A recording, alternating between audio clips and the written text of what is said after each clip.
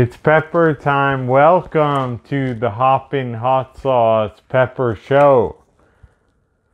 The only time, right? We're back. I shaved my beard. I shaved my beard off. Um, I haven't shaved in a couple days, but you know, the lion's share of the thing, it's gone. Because I only live one time, and it's good to change it up in life. But we didn't change anything with the sauce. It's still the best sauce in the world. It's the best hot sauce. The holidays are here. Right? We're th- we're in the thick of it. It's cool making hot sauce during the holiday during the holiday season because people buy it and they send it to their friends and their family. It's cool to be part of that. I'm not one of those huge e commerce Goliath behemoths that you hear about on the news all the time. I just do it with my wife and my mom and my stepfather. It's a family thing. So we're slow and uncoordinated like a family of people. Sometimes, sometimes, not a lot of the time, but sometimes we're a family. We can barely tolerate each other. But mostly we love each other. We're a family. It's cool. It's neither here nor there. Just to tell you, it takes forever to get our act together. But we got our act together. Hoppin' Hot Sauce is a movement. The Pepper Show is a thing. So when you get the hot sauce, what are you going to do? You're going to share it with people.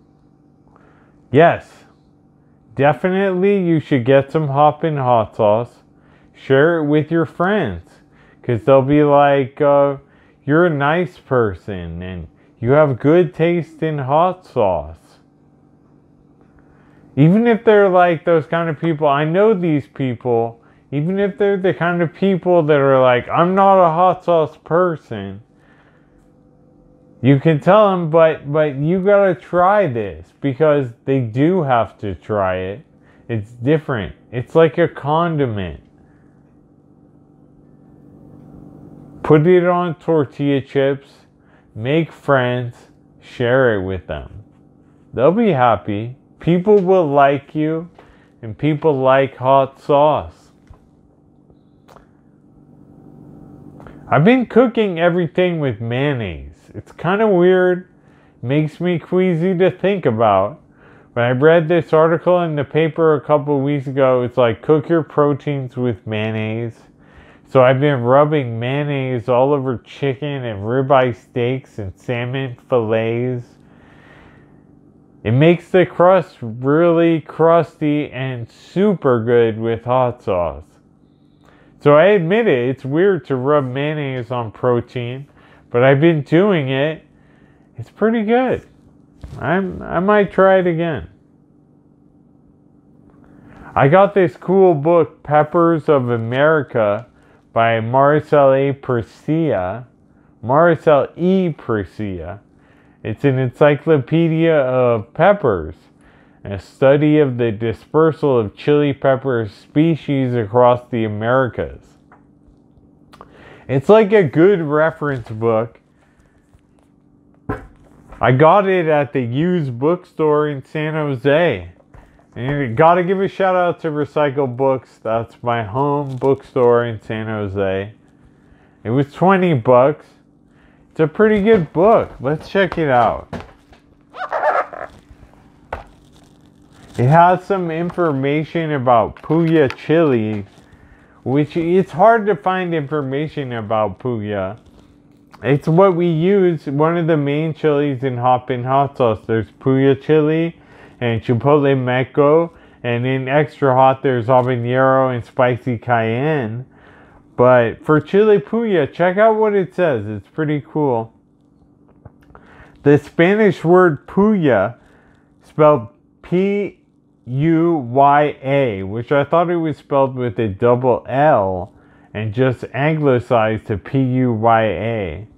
But I found out that means goad or steel point, a perfect description of a skinny chile that packs a sharp sting. In Zacatecas, one of Mexico's largest producers of chilies, entire plants are uprooted when the pods ripen to a bright red and then heaped on the ground until the chilies are dry. The pods are removed from the stems at processing plants where the chilies are packaged for sale. The slender, thin skinned chili resembles a smaller brother of Guajillo chili, with which it is sometimes used. From carmine red, it dries to a smooth, glossy reddish brown and after soaking and pureeing, it takes on a rich, brilliant hue somewhere between wine colored and orange red. The pulp is a little thin textured and acidic, with no fat and none of the sweet, full body quality of the ancho chile. It has a straightforward, penetrating pungency that makes it good for boosting heat when combined in a sauce with other mild chilies, which is kind of like Chipotle Meco is mild, but it has this wonderful color. That's the color of Hoppin' Hot Sauce from Puya Chilies. So cool book, published 2017 by 10 Speed Press Peppers of the Americas by Marcel E. Presilla. Cool, cool book.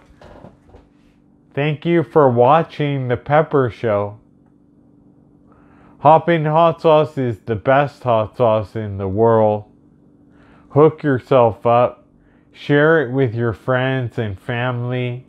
Order now for the holiday. You need this. You're worth it. You deserve this kind of thing. Let's play the jingle. Hoppin' hot sauce. It's the best hot sauce. Hoppin' hot sauce. It's the best sauce in the world. The world, I'm telling you. Listen to that beautiful singer. Listen to that, listen to that beautiful singer telling you exactly what you need to know, exactly when you need to know it. Go to hoppinhotsauce.com, hook yourself up. Thank you for watching The Pepper Show.